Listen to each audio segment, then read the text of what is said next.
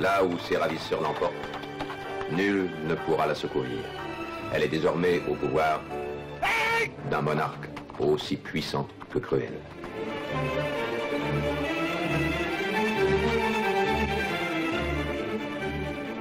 Tout la sépare de celui qui pourrait la sauver. L'immensité du désert,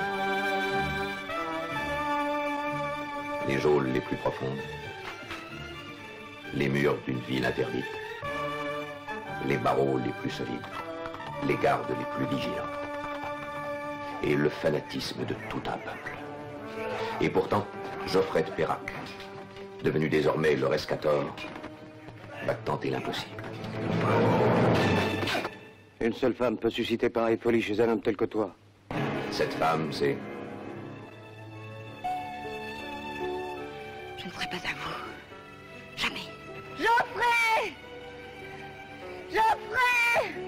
Angélique.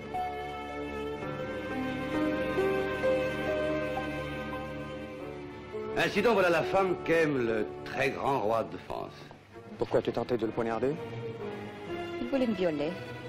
A-t-il réussi? On m'a délivré à temps. Ici, personne ne te délivrera.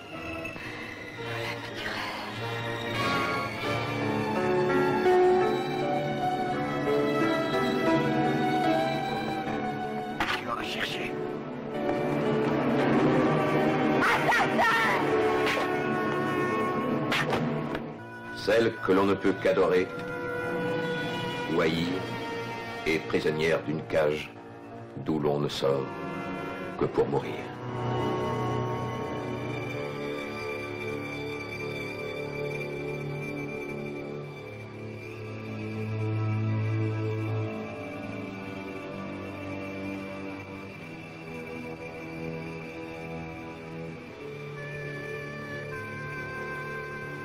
Tu as été très courageuse.